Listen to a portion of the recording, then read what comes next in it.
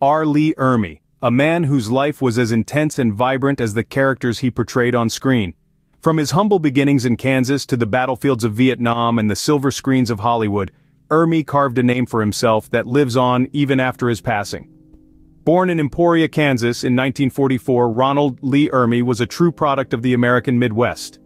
The second of six children, Ermey grew up in a hardworking family that instilled in him a sense of duty, discipline, and resilience. At 17, Ermey enlisted in the United States Marine Corps, a decision that would shape his life and career in profound ways. He served in Vietnam and Okinawa, earning the rank of Staff Sergeant. His time in the military would later serve as the foundation for his acting career.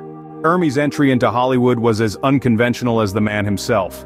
While studying drama at the University of Manila, he was discovered by director Francis Ford Coppola, who cast him in a supporting role in the epic war film, Apocalypse Now.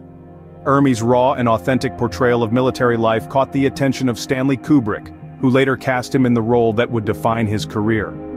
In 1987, Ermey gave a riveting performance as the hard-nosed, foul-mouthed drill sergeant in Stanley Kubrick's Full Metal Jacket. His performance was so powerful, so real, that it earned him a Golden Globe nomination. Ermey became the face of the tough-as-nails military man, a role he would reprise in various forms throughout his career. But Ermey was not just a one-trick pony, he showed his versatility by taking on a variety of roles in films such as Se7en, Toy Story, and The Texas Chainsaw Massacre.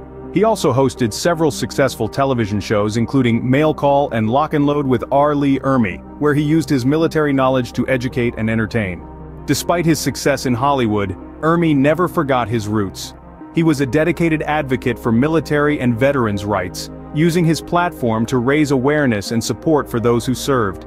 He was also a beloved figure in the Marine Corps, where he was made an honorary gunnery sergeant. On April 15, 2018, Ermey passed away at the age of 74. His legacy, however, lives on in the characters he brought to life and the lives he touched both on and off screen. In summary, R. Lee Ermey's life and career were a testament to the power of resilience, authenticity, and dedication. From the battlefields of Vietnam to the bright lights of Hollywood, Ermey lived his life with an intensity that was as captivating as it was inspiring. His legacy as an actor, a Marine and an advocate will continue to resonate for generations to come.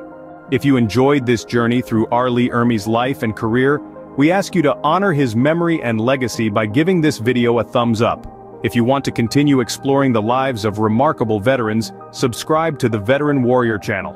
Don't forget to ring the notification bell so you never miss an update. Stay tuned for more inspiring stories of dedication, resilience, and heroism.